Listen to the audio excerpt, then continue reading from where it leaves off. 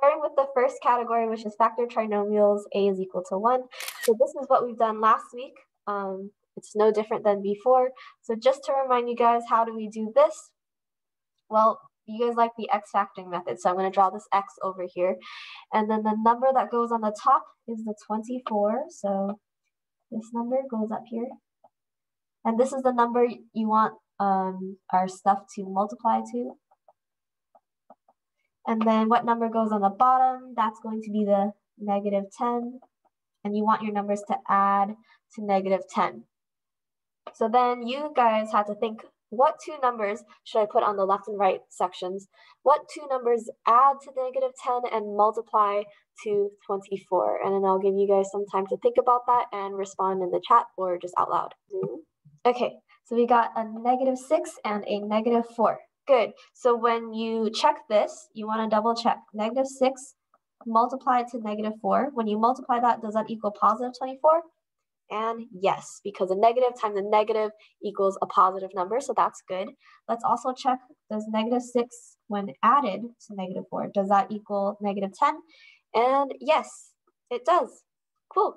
So now we found our two numbers. And so what do you do with these two numbers? Well, you put them in our factors. We have an x over here, we have another x over here, and then since we have a minus 6, it's going to be x minus 6. And since we have a negative 4, it's going to be x minus 4. So our final answer is that x squared minus 10x plus 24, it is equal to that, x minus 6 times x minus 4. I'm going to pause the video here, see if you guys have any questions. All right, so I'm going to enter this in x minus 6, x minus 4, x minus 6, x minus 4. Sorry, it's kind of slow, but yeah submit. And then let's do another problem. Let's get a screenshot this.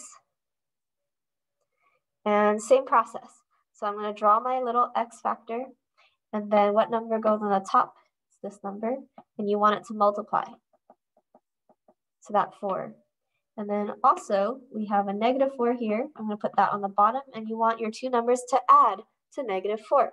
So now you guys can tell me in the chat or out loud what two numbers can you think of that will multiply to positive 4 and add to negative 4? So we got a suggestion that is negative 2 and negative 2. Let's test it out. So let's test out if they will multiply to positive 4. Negative 2 multiplied by negative 2 gives us a positive number because negative times negative is a positive. So yes, positive 4. Good.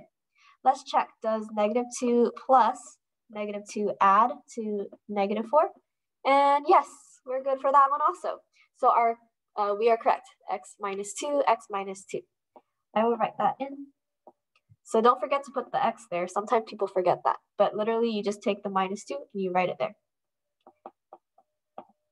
So we have X minus 2, X minus 2. And this can also be written as x minus 2 squared, which is what Estrella is suggesting. So good job. Yes, you can write it x minus 2 with the power of 2 because it's just x minus 2 times itself and it appears twice. So you could write it either way and it would be correct. Any questions? I will pause the video to see if you guys have any questions. Okay, so x minus 2 squared, x minus 2 squared. Okay, so we've already done um, this category before, so I'm going to go on to the next section because the next section is going to be a little bit different. So we just dealt with factoring trinomials where the a value was equal to 1.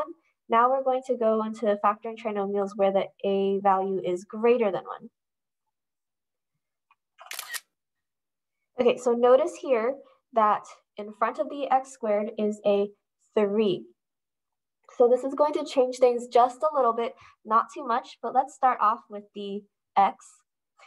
And so now, instead of just putting 4 on the top like I usually would, what I want you to do is take the 3 and take the 4 and multiply it. So 3 times 4 is 12.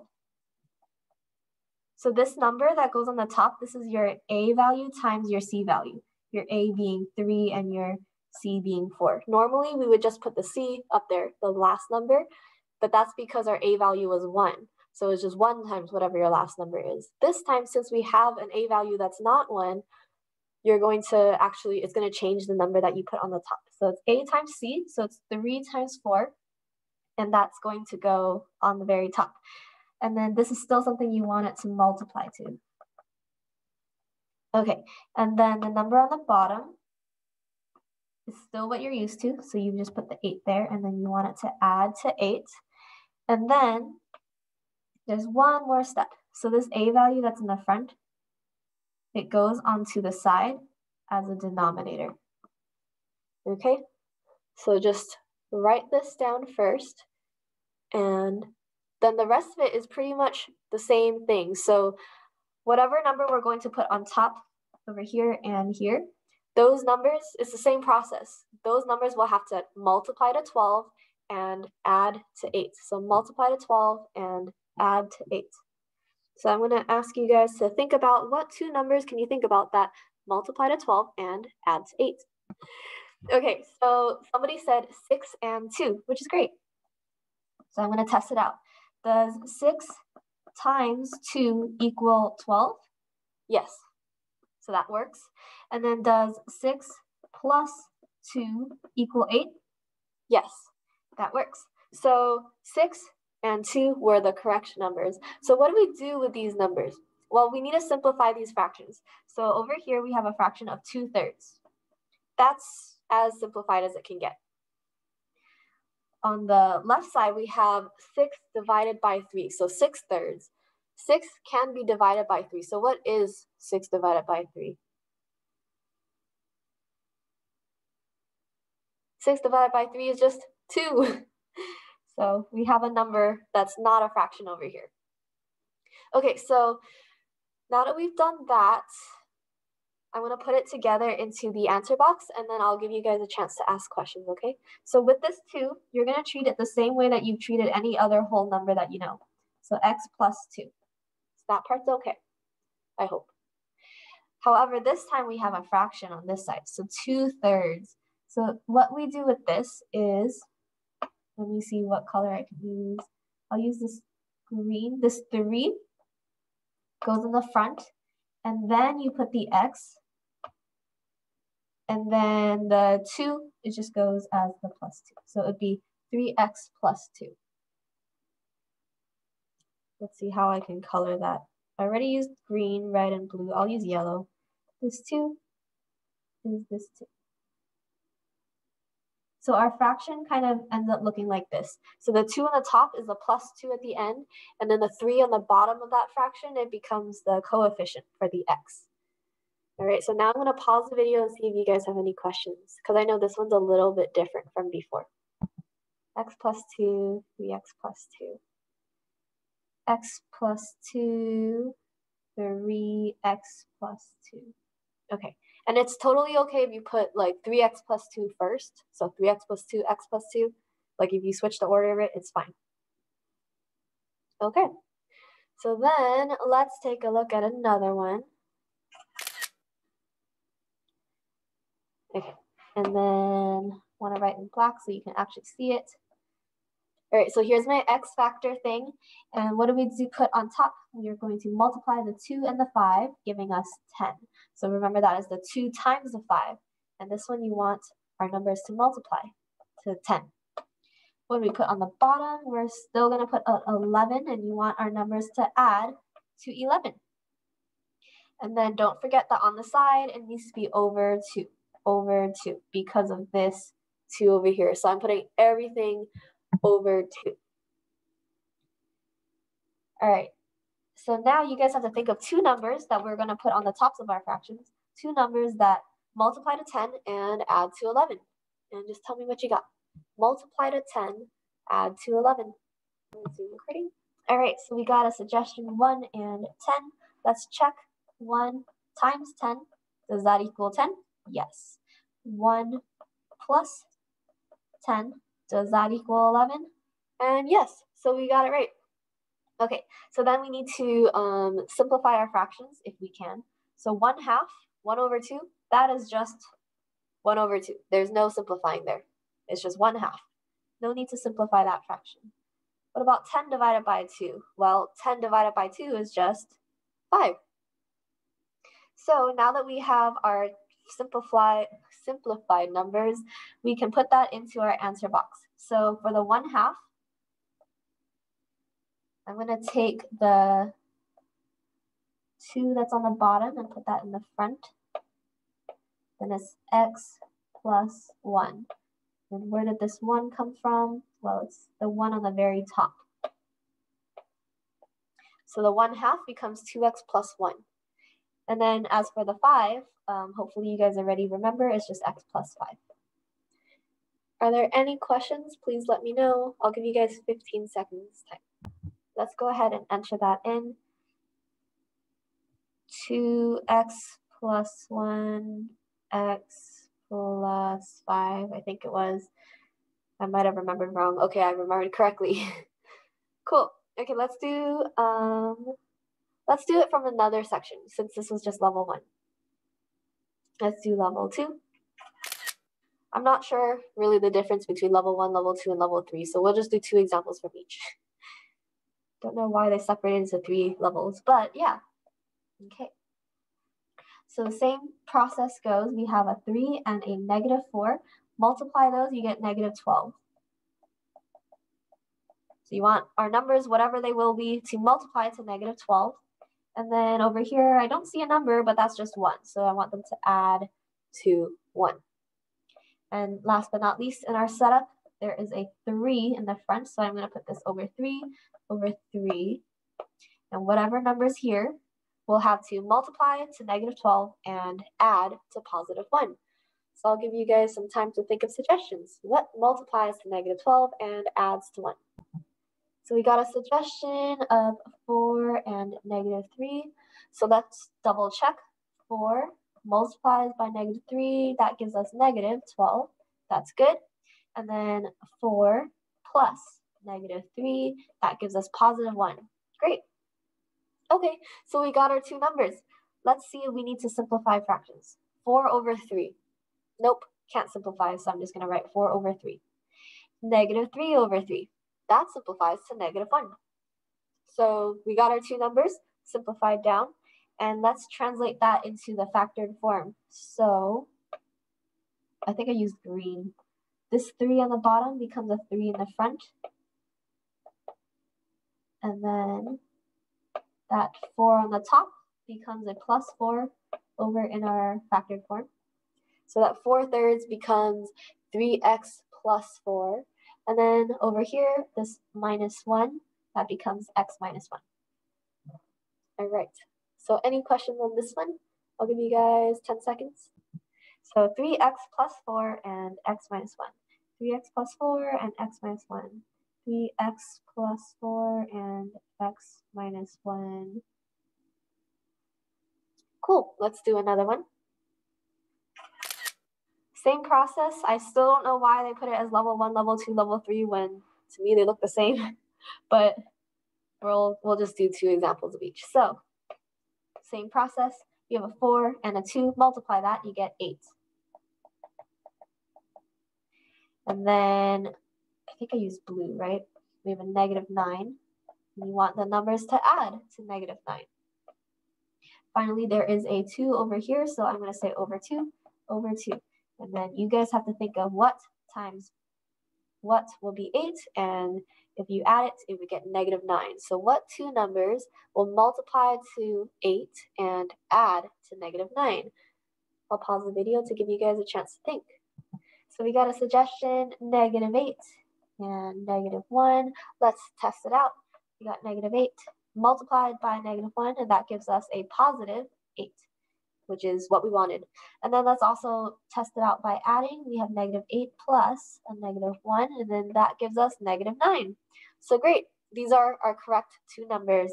So let's simplify out our fractions if we can. So negative 1 half, that's just negative 1 half. There's no simplifying there. And what about negative 8 over 2? That becomes negative 4. So when we write it out as our factored form, let's do the negative 4 first. We just have x minus 4. That one, hopefully you guys are pretty used to already. Now when we deal with the 1 or negative 1 half, well, we have a 2 on the bottom, so that becomes our coefficient in the front. And then we have a negative 1 on top, so I'm going to write minus 1 over there.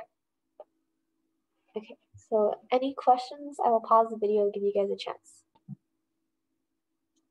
So we have x minus 4, 2x minus 1. Okay, and let's go on to the last category. So level 3, even though for some reason, or I don't really know why it's level 1, level 2, level 3. Maybe it's just because it's bigger numbers. let's see. Okay. Okay, I think it is just because it's bigger numbers, but even though it's bigger numbers, it'll just take us a little bit longer, but it's still fine. So on the top, we have a 6 and a 35. Let's multiply 6 times 35. 6 times 35, that gives us 210. So we want numbers that will multiply to 210. I guess that is a little bit harder, huh? And then let's put the number on the bottom. It's a 47. All right, and then last but not least, we must put this over 6 over 6 because there is a 6 right there. So everything's over that coefficient. So now you guys have to come up with two numbers that we will place right there. Two numbers that multiply to 210 and add to 47. I'll pause the video to give you guys a chance to think about it. So this one's a bit harder just because there's so many more numbers to try. So I'll show you kind of like what goes on in my mind. Yes? My puppy just ran away. Can I go? Uh, yes. All right, bye. okay. Good luck.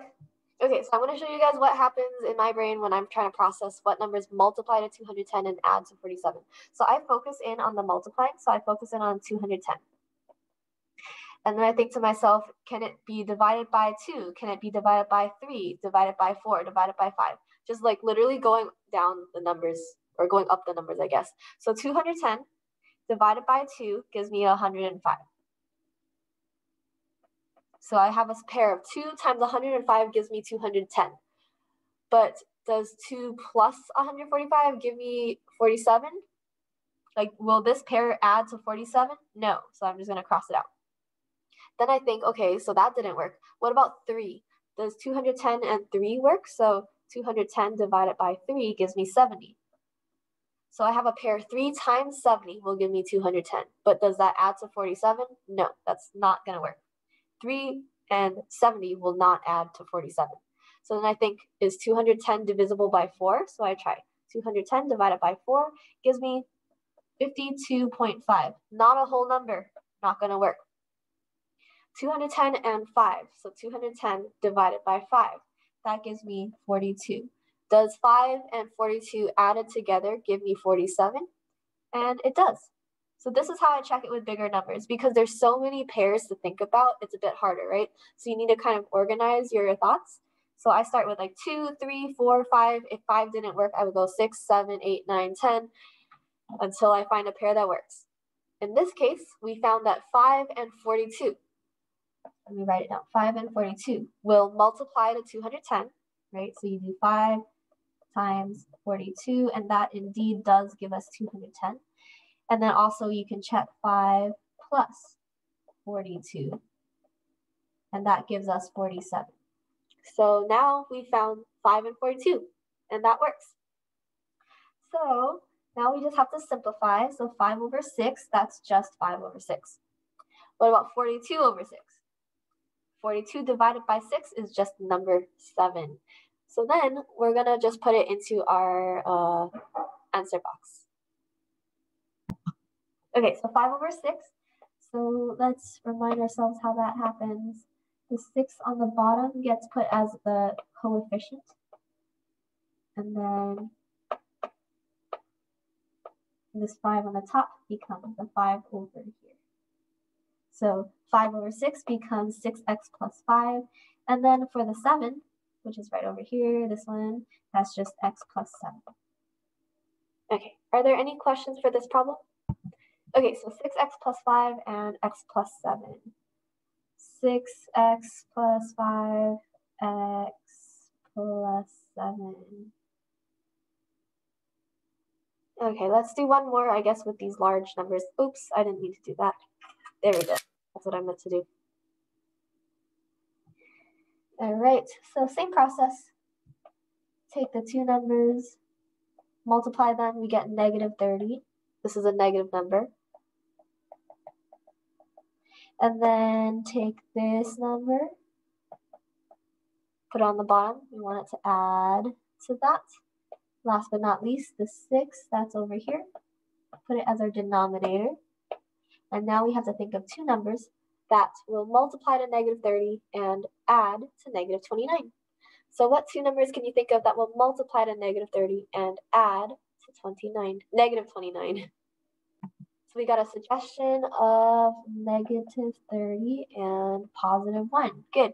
So let's test it out. Does negative 30 times a positive 1 equal negative 30? Yes.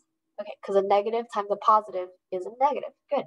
And then we also have negative 30, and then we add that to 1, and that gives us negative 29. And that's what we wanted, so that's great. So before we go ahead and put in factored form, let's simplify out our fractions. So negative 30 over 6, that becomes negative 5.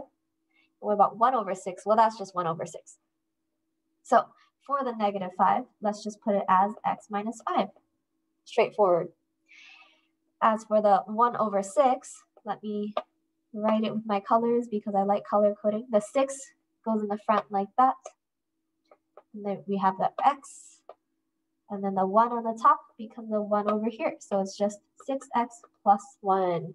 So the 1 over 6 became the 6x plus 1. And the minus 5 became x minus 5. Do you guys have any questions? Please let me know in the next 10 seconds. I'll pause the recording. x minus 5, 6x plus 1 x minus 5, 6, x plus 1. Okay, and we just did two examples from each category, but each category is pretty similar. So you essentially had six examples total. So I think that's enough. If it's not, please call me over into your breakout room so I can help you guys out.